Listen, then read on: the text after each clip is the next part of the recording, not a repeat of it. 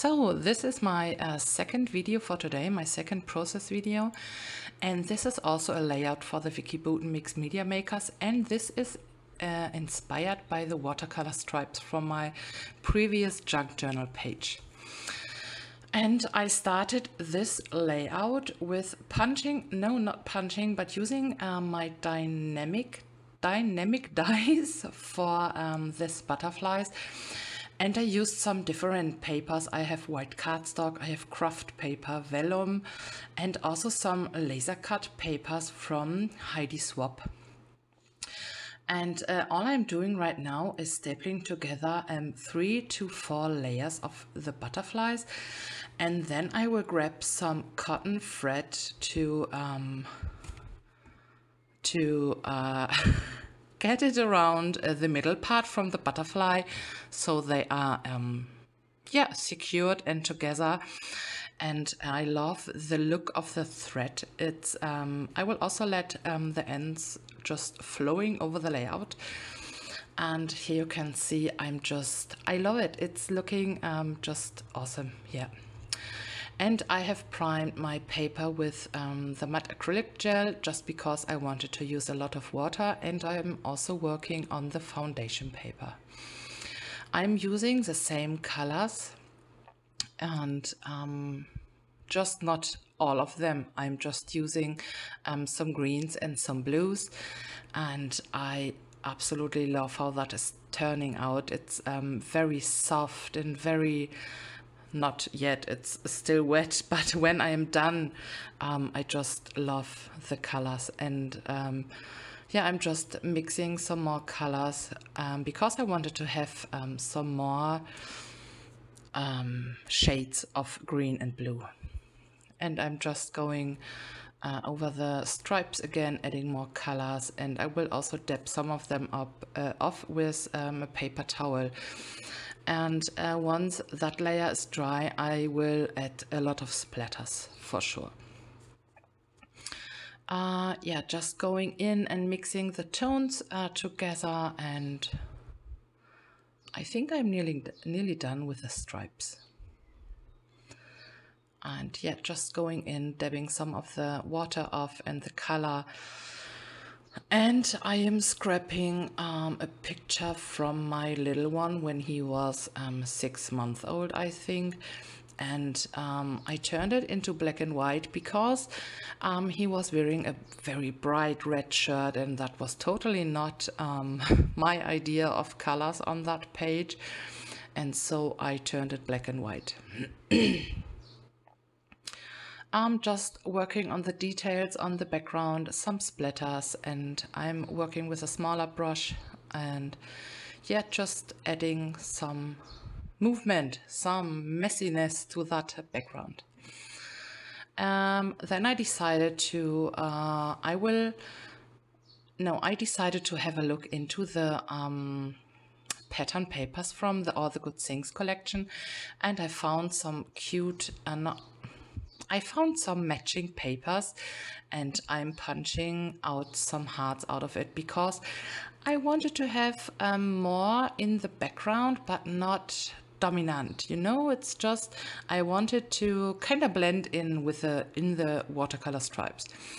And here I'm just looking what kind of design I wanted on which side I wanted to have um, the butterflies and the picture because um, the little one is looking from the left side or into the left side. I don't know. It was just, I was not pretty sure about it, but um, that is it. And yeah, that's how I wanted to have it. And that is the next day. I um, looked for matching papers and I also used my Happy Jig tool from uh, We R Memory Keepers to get the word cute and I decided to go with a light blue wire here and um, I totally um, love that little shiny detail. Um, I think I will, yeah, I will directly um, glue the butterflies down because I really love how they are looking right now and I don't want it to, um, yeah, to mess that up. I don't want it to lose that uh, direction of the butterflies and the placement and so um, yeah, I'm going with that. I'm directly gluing them down. And I will pop off, uh, pop up the hearts because I wanted to have some shadow and some dimension.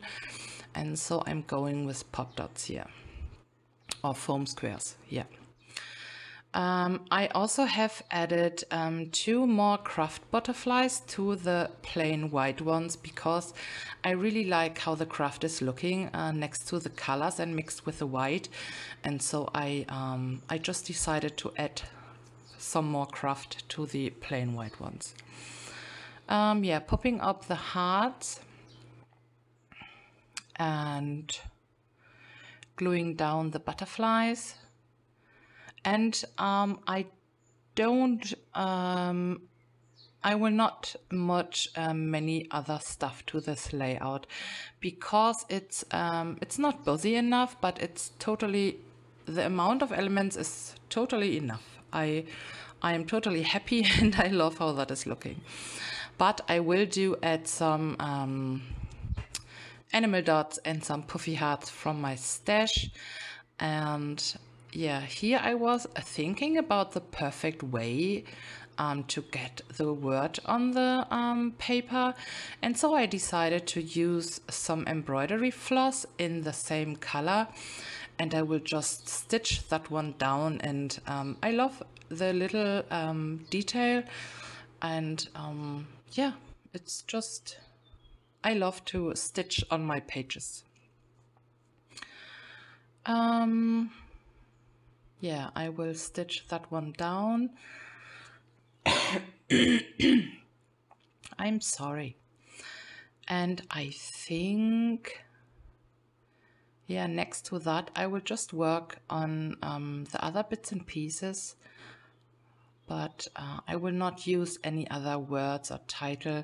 I think um, the word cute is, it's enough. It's uh, saying all about the picture just some stitches here and yeah I love I love that.